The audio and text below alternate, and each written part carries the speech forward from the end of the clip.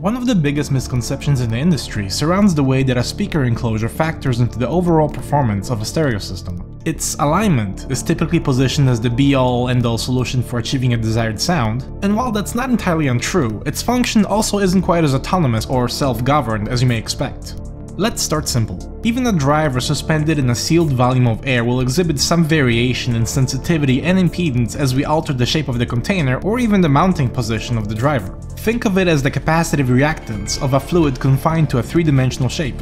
At any given frequency, different regions within that shape will be subject to different levels of pressure, and these variations only intensify as we raise the system order with additional passive components like waveguides and radiators comprising our inductive elements, and chambers comprising our capacitive elements, each contributing to the overall system reactance profile. A profile which ultimately defines not just the network of waveguides and chambers inside the enclosure, but everything between the cone and the listener's ear. Your trunk, for instance, is basically a high-order aperiodic cavity coupled in series with a physical woofer cabinet. Aside from various inductive losses stemming from panel compliance higher than that of wood, its behavior is no different than that of any active or passive chamber within the enclosure. Its geometry still defines the distribution of pressure, resonance, and acoustic impedance, and these figures still change with frequency and orientation of the sound source.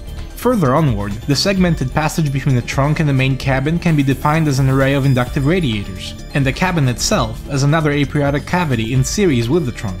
Simply put, if an acoustic model is to accurately predict the results at the end of a signal path, it has to account for everything along that route, not just the first couple of reactive elements represented by what's inside the enclosure. In that regard, the enclosure is merely an adjustable segment at the low end of a high-order bandpass network and while it does serve as a control point in an otherwise static chain, it is no more central to it than any other link.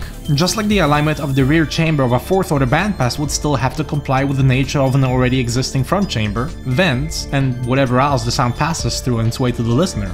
That being said, the drawbacks of any design philosophy with the operating environment as a cursory factor, if a factor at all, become evident. Especially in cases where a generic on-the-fly enclosure recommendation is presented as a mere volume of space and tuning, often with no prior knowledge as to where it's going. Right away, even without coupling the enclosure's output to the vehicle model, one look at the response trace plotted against the driver's excursion profile will reveal that there is no definitive correlation between tuning frequency and response, to say nothing of the likelihood that a bass reflex might even emerge as the optimal design style.